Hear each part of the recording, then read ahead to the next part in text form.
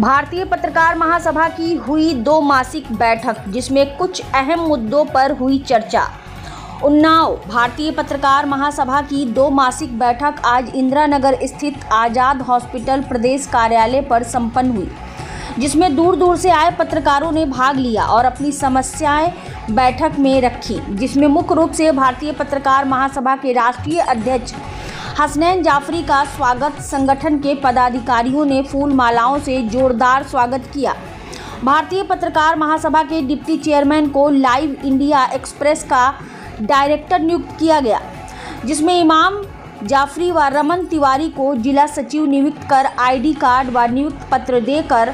फूल मालाओं से स्वागत किया गया। इस मौके पर भारतीय पत्रकार महासभा के राष्ट्रीय अध्यक्ष हसनैन जाफरी ने पत्रकारों की समस्याओं का निस्तारण किया और आगे की लड़ाई लड़ने का वादा किया। उन्होंने कहा कि पत्रकारों को जो भी समस्या है, वह हम सब की समस्या है।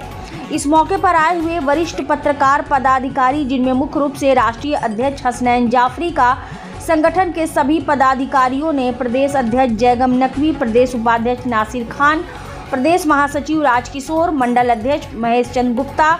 जिला अध्यक्ष अपर्णा राय, जिला उपाध्यक्ष अरुण कुमार राही, जिला उपाध्यक्ष रानी खान,